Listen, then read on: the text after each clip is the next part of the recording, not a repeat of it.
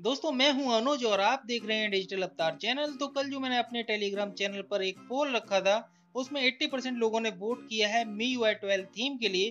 तो आज आपके लिए लेकर आया हूँ एक ऐसी अमेजिंग थीम जिसमें अगर आप डबल टेप करते हैं तो आपको मी यू आई ट्वेल्व के काफ़ी अमेजिंग से वॉलपेपर देखने को मिल जाएँगे।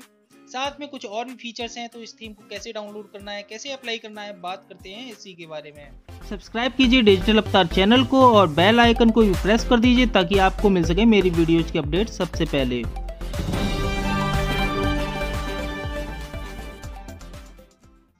तो दोस्तों, अगर बात करें इसकी होम स्क्रीन लुक की तो काफ़ी बिग सा आपको मार्स वाला वॉलपेपर देखने को मिल जाता है।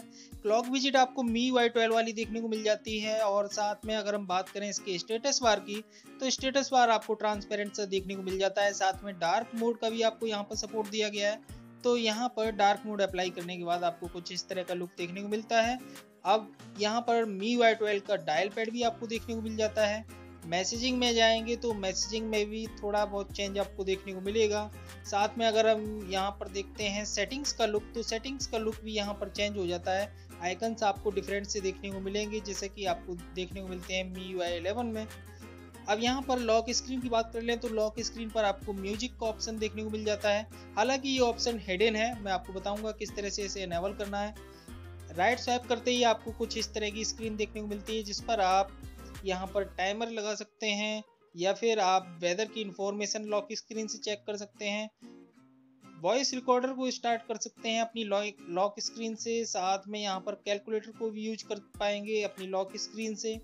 तो इस तरह की एक सेकंड स्क्रीन पर आपको फीचर देखने को मिल जाएँगे, और यहाँ बॉटम में आप देखेंगे तो एक सेटिंग का ऑप्शन है थीम सेटिंग का ऑप्शन तो यहाँ पर काफ़ी कुछ चीज़ें आप इनेबल कर पाएँगे जैसे कि डार्क क्लॉक को ऑप्शन डिफ़ॉल्ट आपका ऑफ़ रहता है, ऐसे ऑन कर पाएँगे।